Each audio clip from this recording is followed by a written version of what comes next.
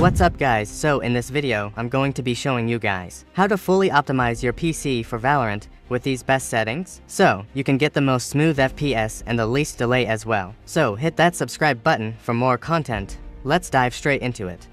GearUp Booster is one of the best programs for the optimization of your ping while you play games using your wired or wireless connection. So get this paid program free from my description and play your game with lower ping. So, to start off, we're just going to head into Xbox Live. So just search up Xbox, then go to Enable Xbox Game Bar. Now you want to make sure that this is off, and then head over to Game Mode. Make sure that this is on. Now just search up GPU, and then head over to the graphic settings. Now make sure that this is on. Now just hit Browse on here. So, we're going to be looking for Valorant. So, the easiest way to do this is just cancel out of this, and then just search up Valorant, and hit on Open File Location, then right-click, and then hit on Open File Location again, and then head over to Riot Games, Valorant Live Shooter Game Binaries. Win64, and then when you're in here, just copy this, and then we can head over into here and hit Browse, and paste in, and we can just select this and hit Add. We're gonna head on Options, and make sure this on high performance, and then save now, we can also do the other Valorant. They're gonna just go back over to live. Then click on Valorant Add Options. High performance and save so now go to my website. I give link in the description. And download the Valorant Secret FPS Boost Pack and follow me. Search up Process Lasso, and then we can just open up into this. Now head over to Men, and then go to Active Power Plan. Make sure that Bitsum highest performance is checked. And next, make sure that performance mode is enabled as well. Then we can just X out of this. As a next step guys, I'm gonna recommend you the GR Booster, which you can trade for apps with the link free. in description. Just make sure that you launch the tool and select Fortnite, and it's gonna automatically find for you the best DNS server in your near for the least amount of latency. As you can see, I only get 11 milliseconds latency, which is giving me already a huge improvement. Over 100% I've been using this for any games I'm playing here right now on my PC. And the best part about it is it's also searching actively in the background while you're actually playing for the best DNS service. It's consistently also showing you, you the connection between your PC and the router, and the router and the actual game server. So therefore, as mentioned, make sure you check it With out. With the link in description. Now just search your performance and then find. Adjust the appearance and formats of Windows. I just click on this. So, you can adjust this for the best performance. Make sure that smooth edges of screen font is checked, and then you can hit apply. Now head over to advanced. And then make sure adjust for best performance of programs selected. And then you can just hit OK. Then right click and then press new. And then go to text document. Name it, whatever you want and then just open it. Then just type in clean MDR. Save this XL and you can just rename this. Make sure it ends with .bat and there we go. Now just run this as administrator and then we can just follow along with the steps. So this will just clean our drives. I've already done it so, I'm just gonna And you should be doing this. this about weekly or so, just to make sure that all your drives are clean. The last step will be your Valorant configs. So, let's do the Windows art trick on your keyboard by holding Windows and pressing R, and then do percent. Local app data and percent and hit OK. Now scroll down and then head over to Valorant. Saved config and you'll see folds that make no sense. So these are every single account that you've had, logged into Valorant, so, if you just want to edit, the last account that you've entered into Valorant with, go to Windows and then edit this. And you can see this is the last account I've been in. So, if I just want to edit this then one, I'll be the one that's all of 6OD.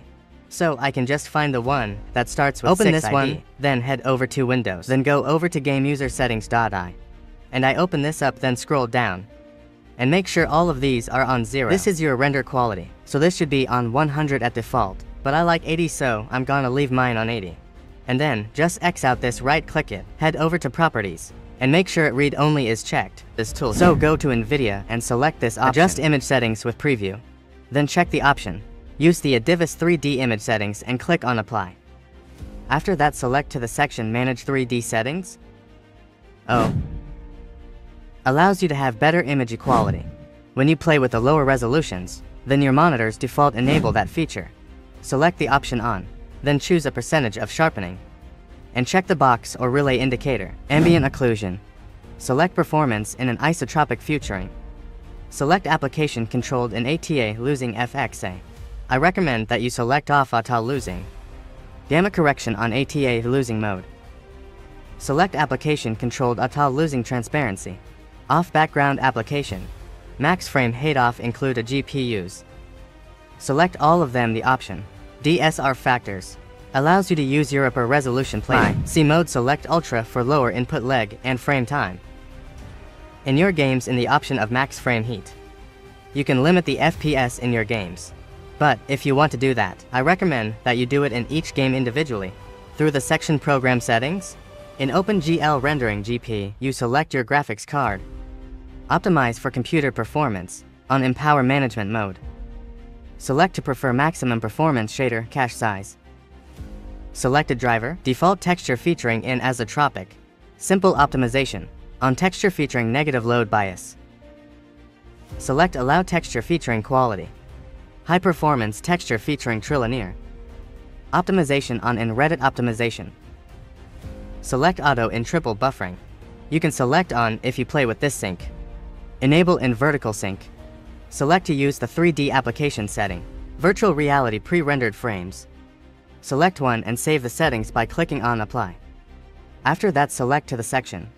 Configure surround PhysX in the option processor. Select your graphics card and lastly, save the change by click Go Settings. Go to the settings right there, and go to the General tab right here. Go a little bit down till you see the raw input buffer and make sure this is set to on, since this is gonna get you way less input delay. This is pretty important once you've done that. We are also done in the general tab and we can continue. Continue going to the video chat right there. But if you actually get the best performance of your game, I want you to set this to full screen. This is also gonna show you the refresh make rate. Make sure this is set to your highest refresh rate possible. And once you've made these changes and set your display mode to full screen, we're gonna continue. The only reason why I'm not setting full screen right now is because I because I got a 32 to 9 monitor and it's gonna look really really weird for you on YouTube. So this is the only reason I'm why. not setting this to full screen. But anyways, the next continue going to the graphics quality. You can basically set everything to low or off. Except the multi-threaded rendering. Want you to set this to on and everything else to low or off.